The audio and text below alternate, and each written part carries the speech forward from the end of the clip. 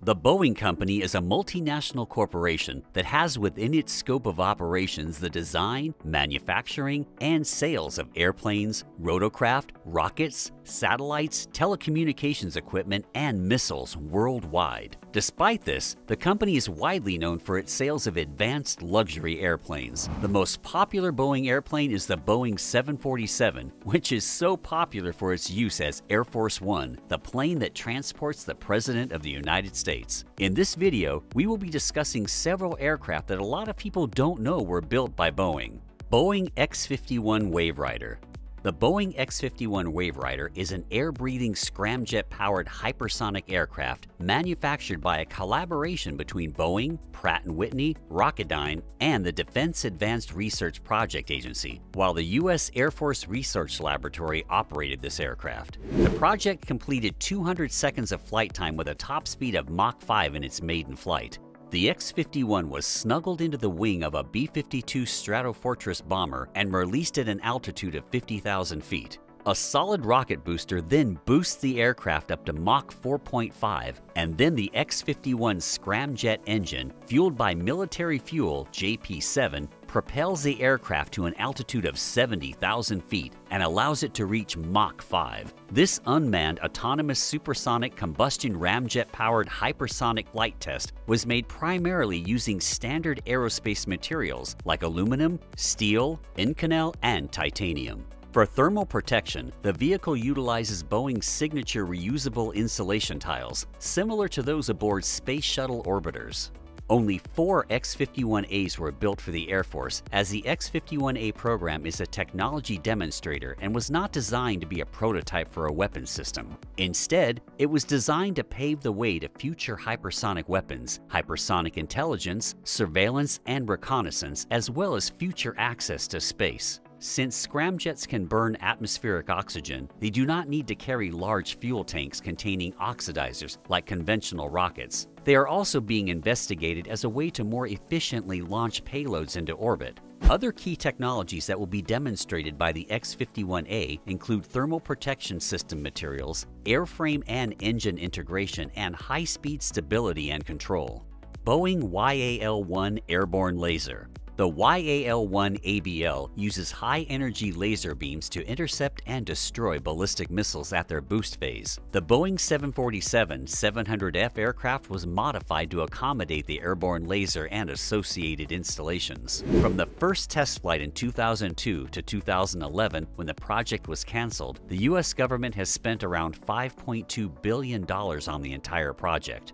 The swivel turret fitted to the nose of the 747 receives the main laser beam generated by a megawatt chemical oxygen iodine laser and focuses the beam to the target by telescopic mirrors. The laser beam heats a spot on the target, leading to an explosion.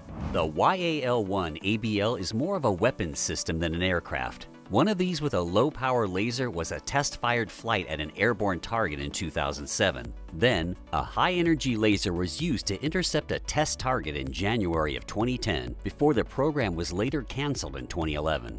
It made its final flight on February 14, 2012 to Davis-Monthan Air Force Base in Tucson, Arizona to be kept in storage at the Boneyard by the 309th Aerospace Maintenance and Regeneration Group. It was ultimately scrapped in September of 2014 after all usable parts of the ABL were removed. The ABL program was initiated by the U.S. Air Force in 1996 with the awarding of a product definition risk reduction contract to the Boeing ABL team. The development of the system was ultimately accomplished by a team of contractors. Boeing Defense, Space and Security provided the aircraft, the management team, and the systems integration processes. Northrop Grumman supplied the coil, and Lockheed Martin supplied the nose turret and the fire control system. Towards the end of 2010, the nation's defense ministry began to express some concerns with the practicality of the program concept. Considering the high costs necessary to build and then operate and maintain the ABLs, Air Force Chief of Staff Schwartz finally admitted that the system did not reflect something that is operationally viable.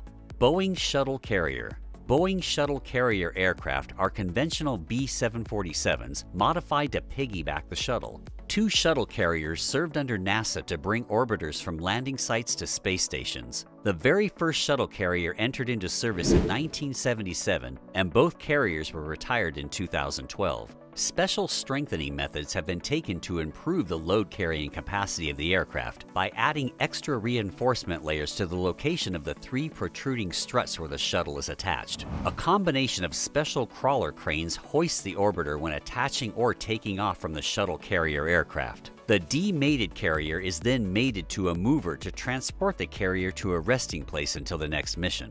These massive planes that NASA bought from Boeing, modified and used for several decades to ferry its space shuttles from place to place, are now on display in museums in America. The first one, N905NA, bought in 1970 and used until 2013, was finally dismantled and transported to the Johnson Space Center in Houston, Texas for preservation. It's now on display in an area of the center called Independence Plaza and has been on display since 2016 with a replica space shuttle attached to it. The second of these SCAs, the N911NA, they acquired in 1988. It flew its first shuttle carrying mission in 1991, transporting the then novel Endeavour Space Shuttle to Kennedy Space Center in Florida from Palmdale, California, the plane's place of manufacture. The N911NA was withdrawn from service in February of 2012, used by NASA as a spare parts source for its SOFIA flying telescope,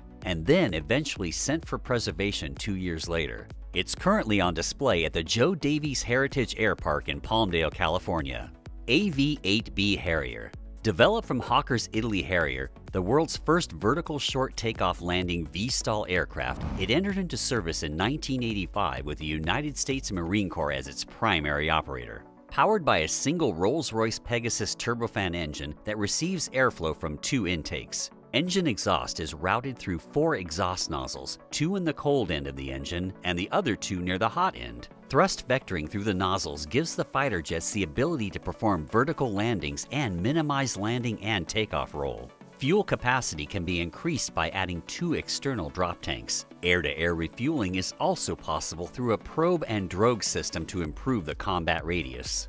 The Harrier single-engine ground attack aircraft is primarily employed on light attack multi-role missions, ranging from close air support of ground troops to armed reconnaissance. The project that led to this jet's creation started in the early 1970s as a cooperative effort between the US and the UK and was aimed at addressing the operational inadequacies of the first-generation Hawker Harrier. In the 1990s, Boeing and BAE Systems assumed management of the Harrier family following corporate mergers that led to Boeing acquiring McDonnell Douglas, the company that originally oversaw the manufacture, operations, and maintenance of these aircraft. Boeing and BAE Systems continued studying the design of these flights until the early 2000s when the project was abandoned.